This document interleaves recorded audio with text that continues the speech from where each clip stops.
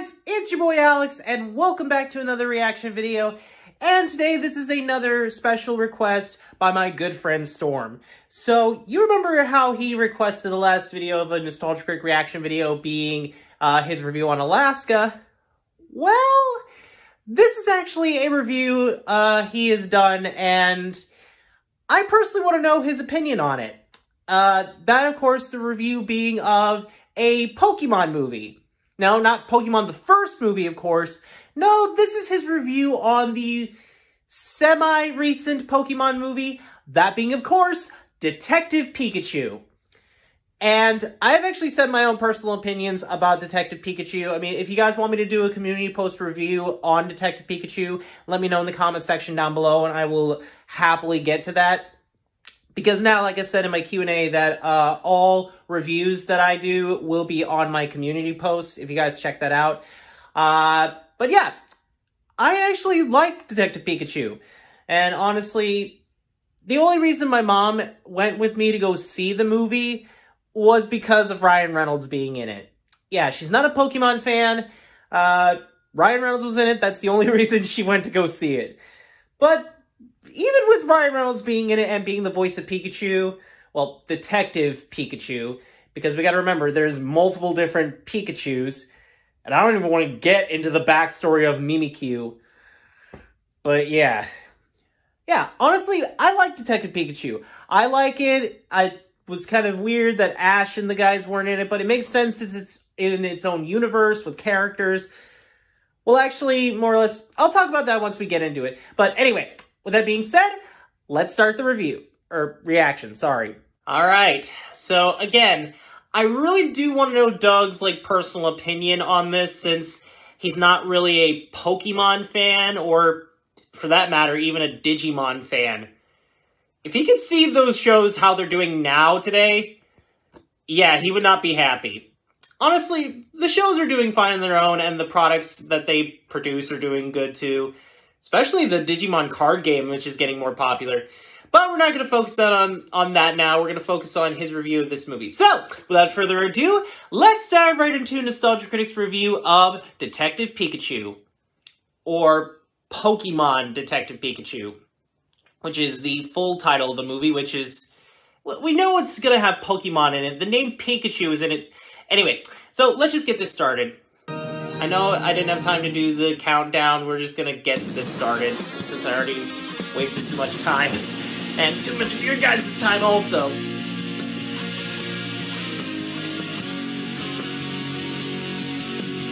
Honestly, it's really good to hear this intro again. I, know he's done recent reviews. I don't know like what he's done to change his intro yet.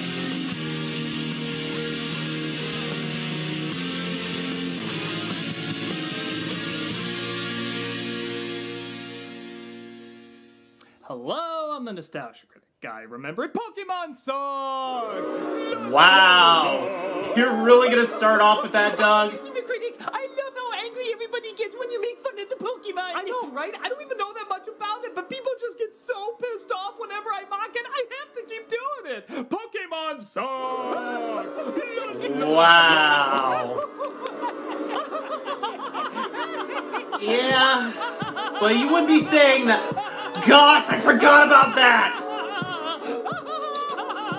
Yeah. You're a jerk, Doug. Oh gosh! Pikachu trunk! Hello, I'm the Nostalgia Critic. Knock knock, who's there? Pokemon songs! La la la! So was all that like a fantasy of him starting that out? I said Pokemon songs! La la la! Hey Chester! Pokemon songs! Still What's the matter? I think I'm getting tired of it. Pokemon sucks, la la la.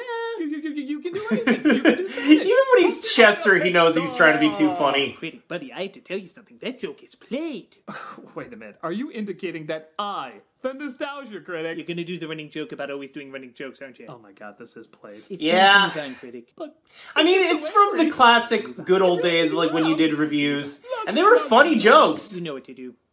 Okay, fine, fine! Despite me making a ton of jokes. Oh, sorry, I got expense, something in my I eye. never really saw that much Pokemon. Unlike Power Rangers or Captain Planet, which I did watch enough to get an idea about, Pokemon I made fun of because it was just everywhere. And in more recent years, Pokemon has gotten like super popular again. Exposed it was, and of course, what obvious marketing play it was. Gotta catch 'em all? Jesus, and I thought my generation was all about commercial More or less, it's now to gotten to more of like, you know, doing other stuff with series, and even Pokemon besides catching them all. gather how this world works. But then again, that is the main core focus of it. The one movie you apparently don't need to know that much about Pokemon in order to follow Detective Pikachu.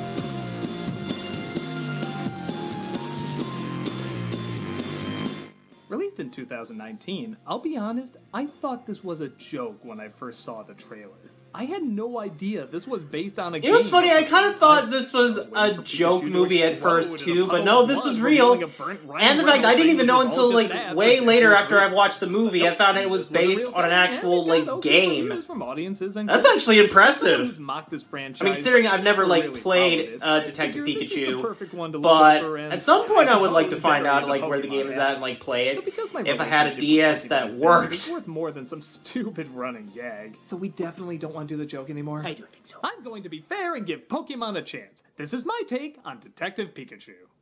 All right, here we go. The film opens in a lab where a Pokemon, or pocket monster for you newbies, here's a complete list of those losers, is being experimented. Wow. He's the most powerful Pokemon named Mewtwo.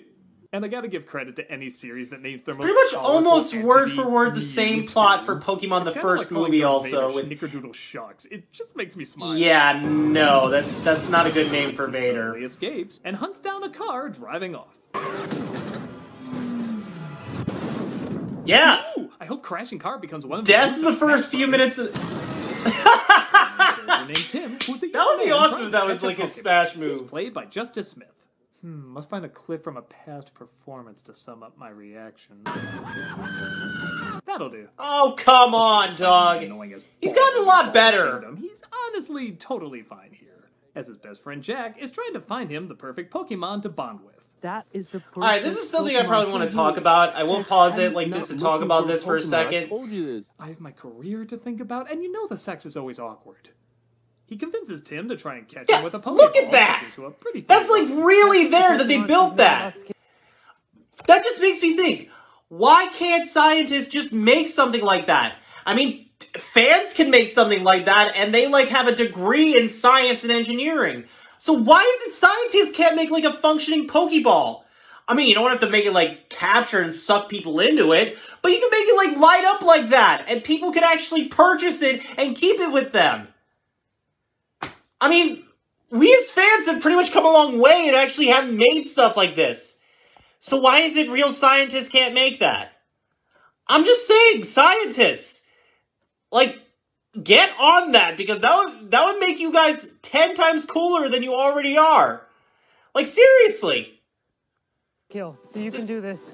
I when I saw again- that, I was like, oh, I'm I trying wish that was real. Not everyone can pull off wearing the skull of their dead relative. Okay, this is a world I want to know more about. Yeah, The Pokemon Cubone's its owner as backstory well, or one Cubone's lore is actually kind of messed up. More or less, Mimikyu's uh, The skull of origin story and grandma lore. her head, it was Or, sorry, lore is like more, more messed up too. Enough to say But yeah, at a that's kinda insurance dark. Makes you a loser, but taking off playing Pokemon with your friends is the ultimate sign of success. What am I saying? It kind of is. Everyone we know has left town, and now I'm leaving too. Gonna get a promotion real soon. What's the promotion for an insurance appraiser? You're gonna make me Right now. throw up. Next, you'll be telling me you don't live with your mother complaining on forums why Star Trek was more destroyed than Star Wars. He gets a call, though, that there was an accident. The Ryme City Police Department. Hmm, I wonder what they wanted to tell me down at the police station. Oh, God, Dad! Yeah. Yes, it looks like it was his father who was killed in that car crash. But don't worry, this film knows. Not a great way to start off your kids' movie. I actually wrote, please do. Thank you. Thank you. Is anyone Oh. missing a clitoris with a tongue? He's shown a video about the history of Pokemon and humans, and Sumi, I think this is funny. Early humans used to catch them and train them to use their unique powers for the common good. Mm-hmm. Ironically, this was taken from a time when Pokemon were enslaved and the prophet Moses Mon said, Let my Bulbasaurs go. But don't worry, they love living in a robot Santa's testicle now. Mm. One man changed all of this. Company Man? Howard Clifford. I didn't know he was Company Man. He apparently created Yeah, bringing up the later games again, it's not mostly just like about battling with your Pokemon, but more or less you get to do like really fun stuff with them, like go hang out at the beach, go into the pools, you know, just hang out in the grass and find other cool Pokemon. And Pokemon Sword and Shield, you get to camp with them and make curry with them. This is actually just one of the cute moments of the game. But yeah, a city where Pokemon don't have to be in Pokeballs? I bet Pikachu would have a field day with loving that. I'm just saying, because, again, if we remember the first episode, Pikachu did not want to be in a Pokeball. And it wasn't even until, like, way later into the series where, like, Ash said to get in your Pokeball. Like, the other Pokemon that Ash captured must feel so bad when they find out that, yeah, Pikachu's the only one that gets to be in a that gets to be without being in a Pokeball, and yet we get to be stuck in one. What the crap, Ash? Yeah, I feel really bad for them, honestly. They just, uh, it's sad. Was for me to evolve into a better version of myself, and I discovered how to do that through a partnership with Pokemon. He did it. Yeah, tough mystery, right? It's kind of like figuring out who framed Roger Rabbit. It could be anyone. Yeah, more or like less. this It wasn't until like halfway into the movie where I figured out that yeah, he could possibly the be the villain of this movie. really being anything But you gotta spectacular, admit, I really His plan is actually kind of There's impressive. clearly effort put into the textures, movement, and Also, the fact like the people who worked on this movie wanted like to make the. Pokemon more look real, photo good. realistic, which is what Paramount Plus almost tried to do with the I Sonic movie back shoot it to then. death if this is all a paranoia agent tie-in. Okay. Lieutenant Yoshida, played by Ken Watanabe, because let's face it, he's the Asian Karl Urban of being in Geeks. Yeah, but he's also No one one of like the most credible and like best actors you could ever ask for for a Pokemon not. movie. I was just really raised by my grandmother. Do you have the spare keys for his apartment? I should go wrap things up there. I'll just pick up my emotional baggage and head back to my apartment of issues. This job, it demands a lot, but you are on his mind every day. Uh, it was nice to meet you, Lieutenant. You will believe people can actually act with a feisty pet toy looming in the background. This movie's weird. Yeah, there is a lot of Pokemon that got really, really shafted in this movie. Snubbull being one of them. Also, do Snubbulls just replace the police dogs in this world? Now that I think about it, we don't really see many, like, regular animals in this world. So did Pokemon just really take over all normal animal life in this movie? Or in this movie's own universe, basically, that it's setting up? Goes to his father's apartment where he I cuts mean, I guess probably that would make more sense. I've been waiting to see who would open up that mailbox. You just walked into quite a story. I have to admit, I thought this was going to be another bland, tough woman with no personality, but they quickly established that's what she's trying to be and isn't especially good at it. Stories like this spread fear, and they're afraid of Also, fear. she's trying to be Someone way else. too I walk symbolic around while and in talk that to light, whatever I it takes guess, to get a but scoop, and that's the hard it's truth. her character, basically, in a It's nutshell. really good dialogue. I work for the CNN blog, making Pokemon listicles all day. Okay, top ten cutest Pokemon. Yeah, my grandma loves those. Yeah, newsflash, they're all cute. Oh, I don't know. Yeah, I mean- flatulence is a little off. Jeez, Doug, He really? tells a story, but Tim has no But idea. yeah, most Pokemon goes do stay cute even when they finds a movie evolve. left. Some more than others. All right, Johnny. I wasn't. I forgot that was in this movie. That's a surprising little uh, callback. He comes across Ivan Ooze's bowel movement, which gets exposed to some of the Pokemon outside, Yep. turning them into blood-hungry animals. But that doesn't distract him from the real discovery, a Pikachu, voiced by Ryan Reynolds. Stop talking! You're a hallucination! You're a hallucination. Clearly not with Deadpool's writers. I'll admit I was kinda hoping for more funny lines out of him, but truth be told, it is humorous seeing that cute little fuzzball have this voice. I mean, still, it's Ryan Reynolds, and he has some of like the best quotes in this movie. I'd probably play him more in Smash Brothers if that was the voice he came with. No one's coming! People are so insensitive! Oh. Pokemon attack though, and they flee for their lives. They eventually go back to normal, and Tim tries explaining to everyone what's going on. But nobody can understand Pikachu but him. Excuse me. Hi. Sorry. Uh, you can hear him, right? You can hear him talking. It's that stuff. That Yeah, I and put up that's my literally nose. the current voice actor. Not, not like that. Again, I have to give credit to a Pokemon movie that acknowledges cocaine Yeah. exists, Pat me or kiss me. Yeah, I forgot about that. as well as that. Pikachu admits he And was that. his Pokemon, but he has memory loss, so he can't remember that much. Talking Pikachu with no memories who's addicted to caffeine. I could stop whenever I want. Another round. Black is night. Thank you, sweetie. I'm sure whatever he said makes sense to Pokemon fans, but to me, that's just a hilarious sound. I can play that at the most random movie moments, and it would instantly make them better. Oh no. And with that, another message pops up. That's just great. But I'm trying my best, like, not to, like, have many two messages pop up. So it's gonna be a lot of editing, and hopefully it doesn't make the video too long or way too long or anything like that. But yeah, I see what you're doing here, Doug. I get the joke. Oh, jeez. It is kind of a funny sound effect. It's more or less the one thing where it talks about, like, Pokemon just really just say their name. I mean, then again, if we remember, there are a few Pokemon that can actually speak. Like, speak the English language. Not that many, mind you, but a few nonetheless, basically. But yeah, let's just continue on with this. Oh my gosh, don't. Just to bring that the new Christian show, nothing can be too bad if that's in it. Pikachu doesn't Oh, think Tim's boy. father is dead and asks him to help out, seeing how he's the only one who can understand it. There's magic. Yeah, there also was the thing that, like, Pikachu kind of has, like, an addiction to espresso. I think it's also in the game. For so many more years of neglecting you. Tim reluctantly agrees, and they search the apartment for clues. Should we talk about the fact that your childhood bed is a Pikachu bed? I've never been so flattered and creeped out at the same time. I find that hard to believe from Ryan Reynolds. Look, what about this? Okay. That's my mom. She passed away when I was 11. Oh, I'm sorry. I, di- I didn't. I didn't realize.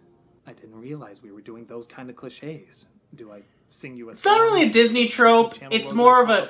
Okay, stop that. Just because you mentioned Disney, like literally, it's a very common trope that like mother characters a lot of Smoke and lot of that must times set off a die in movies like this, Visit Lucy to give her the story, but it looks like she's not. being and also taken the very the seriously. father figures also too. source. Oh, and pro tip: a reasonable sense of fashion. Hey, piss off! Everyone will be wearing the Cracker Jack. Found something at his desk. he shows her his test tube in her office. Did not mean for that to come out that way. Leading to another great line. This isn't an office. It's a. It's a coffin with pencils.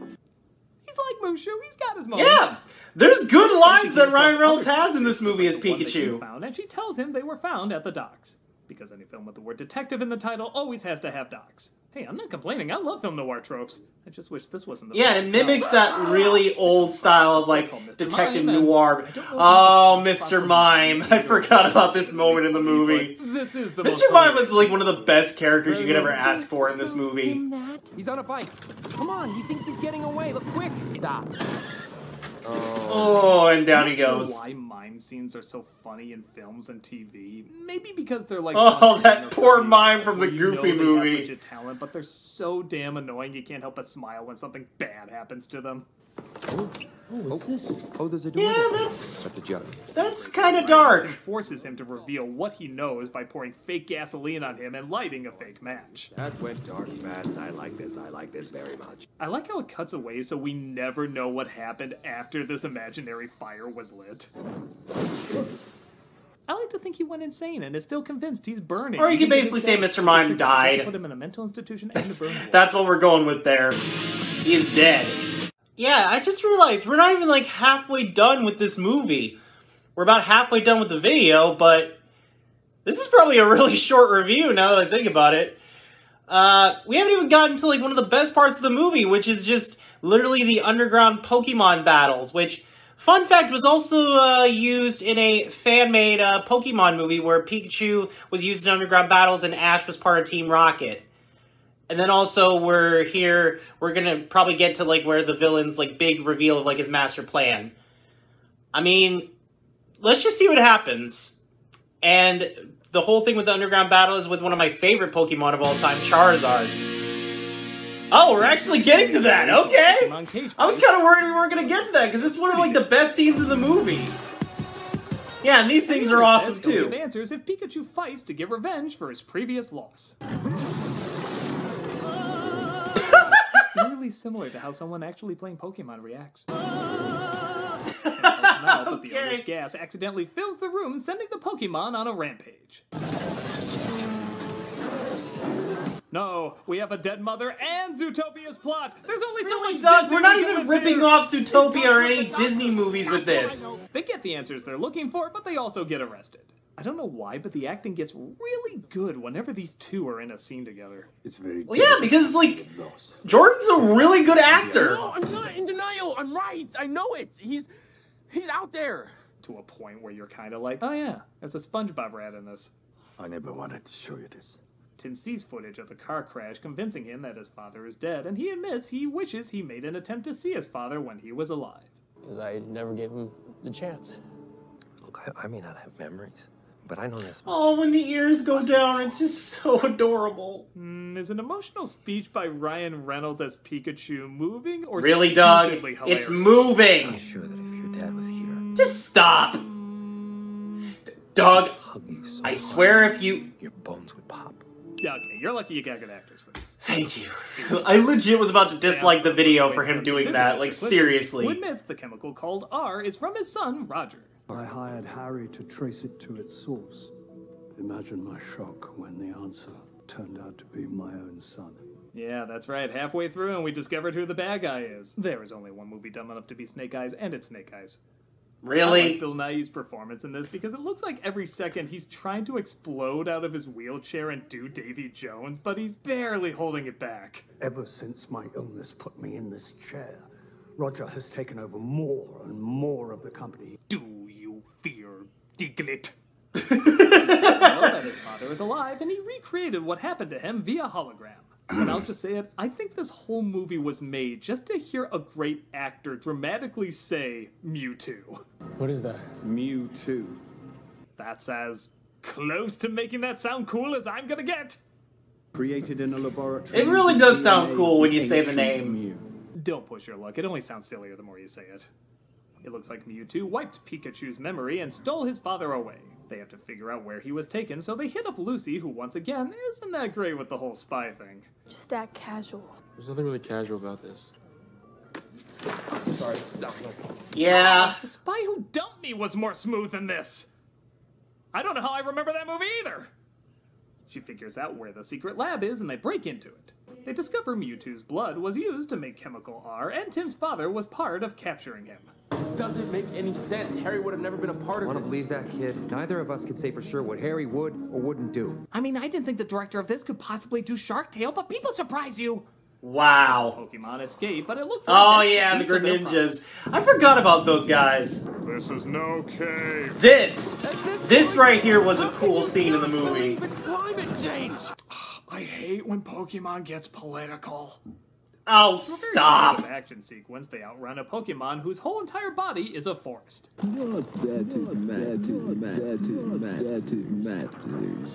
Pikachu is injured, but Tim tries to encourage him to pull through. I'm here, partner. I'm here. You got my back. Pikachu. Pikachu. You know this is one of those scenes where the actor is thinking, "Please don't let this look stupid. This can No, so it's adorable. Stop it, Doug. Mewtwo appears though and heals him, revealing that Pikachu was on his side. You've done well. Humanity's evil. Mewtwo gets captured though, and Pikachu can't believe he was working with the enemy. I'm the guy who betrayed Harry. I could betray you too. You wouldn't do that. I I don't care what I saw. I I know who you are. How do you know? You're this series. It's more or less not really a leaving scene because he's still there for a while and then they finish the whole job. Also, if Pikachu left, that would just be sad because he's the face of the franchise and him leaving just would not be good for the kids in the audience watching this movie. Yeah. And more or less, it's not really an argument. It's just like Pikachu because he lost his memories. He's just doubting himself. But we know that, like, again, the twist was the twist of this movie was actually really not really cool and out of nowhere.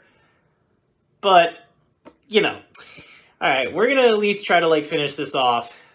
Yeah, we're gonna try to because we're nearly to the end of the movie.